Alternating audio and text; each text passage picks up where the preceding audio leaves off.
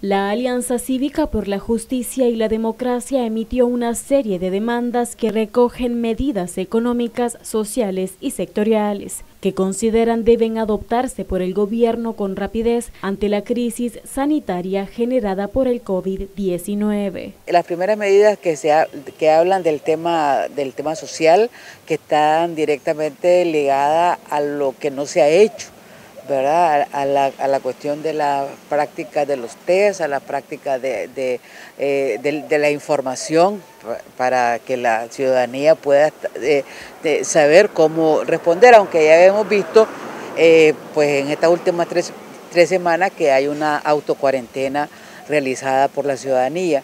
Y luego está el tema de, la, de, la, de, la, de muchos sectores que como dicen, yo no, yo no puedo quedarme en casa porque o, me quedo en casa o me muero de hambre. Y es, eh, y es cierto, porque la inmensa mayoría del país está en la economía informal y por lo tanto es fundamental que el gobierno tenga que tomar medidas con este sector que obligatoriamente se ve expuesto todos los días para salir, tener que salir a vender, a, vender su producto. No sé cómo les está yendo, con seguridad no muy bien este, porque realmente el, nivel de consumo se ha ido por, eh, por otro lado, ¿verdad? Por las cuestiones este, básicas y, elementales para la alimentación o, en relación al tema de los medicamentos, pues comprando lo básico cada familia. Asimismo, Azalia refirió que la población debe presionar al gobierno para que aplique dichas medidas. Yo pienso que la ciudadanía tenemos que eh, presionar para ello.